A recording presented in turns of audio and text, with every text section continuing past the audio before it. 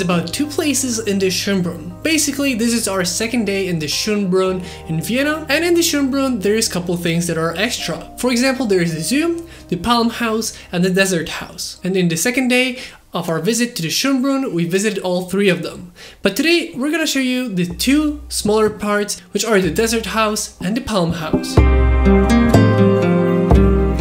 So right now we're gonna be in the Desert House and it, we were gonna get through the tickets. It looks so cool here.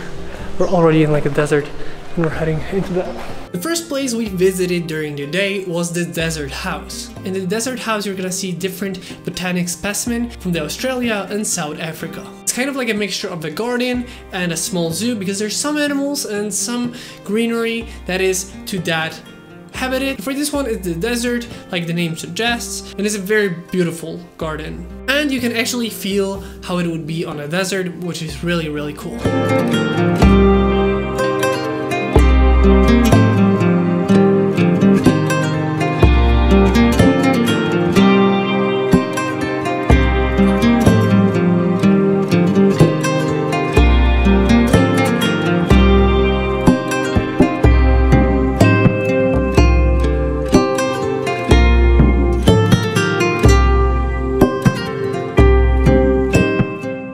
There, we headed to the Palm House just across the walkway.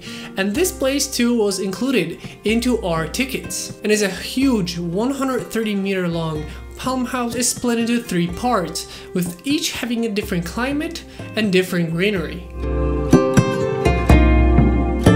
So now it's time to go and explore the Palm House.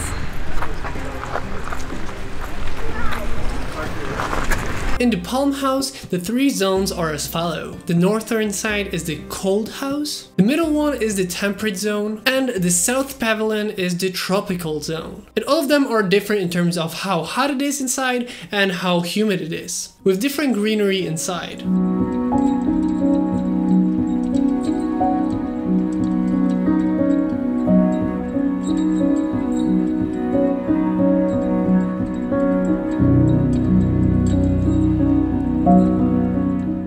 And now we're in the warm house and it's very, very hot.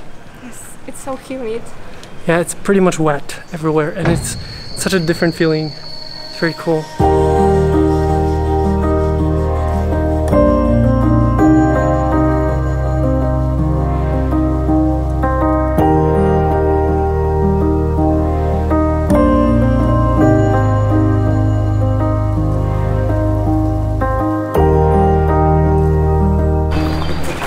It was hot. It was extremely hot.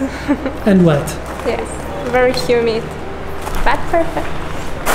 You can somewhat see how I'm a little bit, you know, wet from being there. So let's go to the third one, the final one, I guess.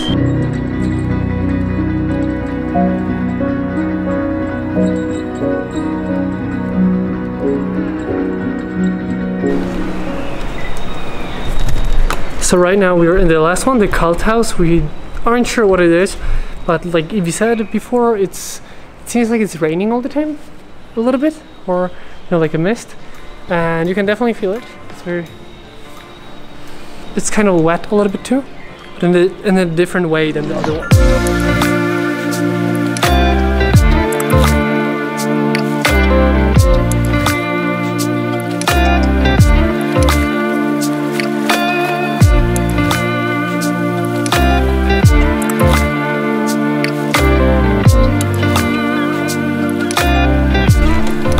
So we've just been to the Palm House and it was beautiful. Yeah, it was amazing. Very big. And the whole atmosphere of the tropical forest.